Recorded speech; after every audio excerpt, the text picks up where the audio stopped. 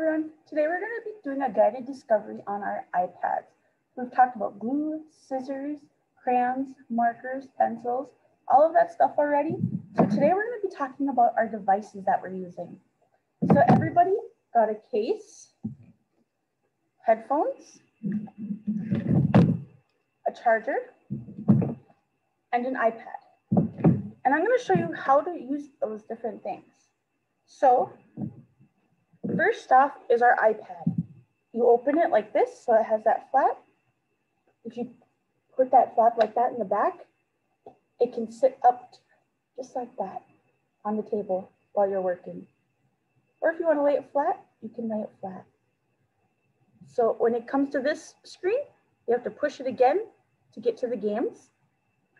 Don't remember, you can play any of these games. These are all games for you. The ones that I encourage you to play the most are IXL, Raz Kids, and Teach Your Monster to Read. Those are the three games that I want you to focus on playing with, with their iPads. So the first thing, when we are not using our iPad, see our iPad is dead, we need to charge it. So you have your charger right here. It comes in two pieces. There's a big end and a little end we have to plug that big end into that port right there. There we go. And then you plug that end into your wall. After you plug it into your wall, on the bottom of your iPad case, right there, there's a little hole. And you're gonna stick it in there until it clicks. Because if you just put it in there like that and it's loose, it falls out. You wanna make sure you feel that click on there so it stays in. The other thing about our iPads is our headphones. So everybody got headphones that look like this. So there's the bottom of your iPad. On the top of your iPad, this is where you plug in your headphones at, right there. And the same thing, you wanna push till you feel that click.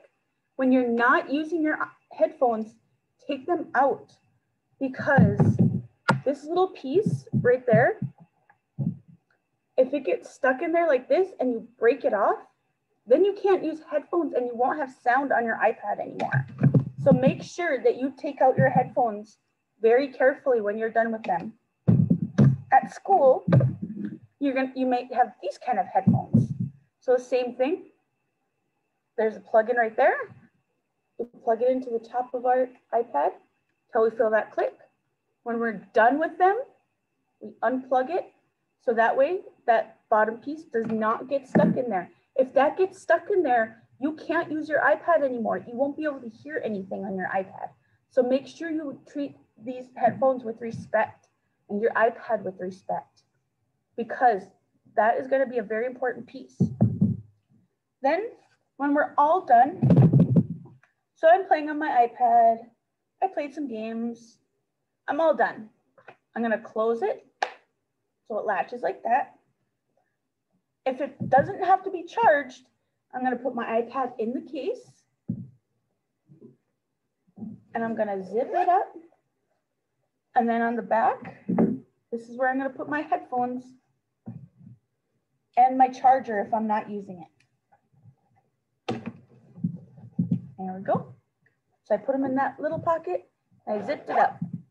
So I have my charger, my headphones, and my iPad all in one handy carrying case, all in one spot.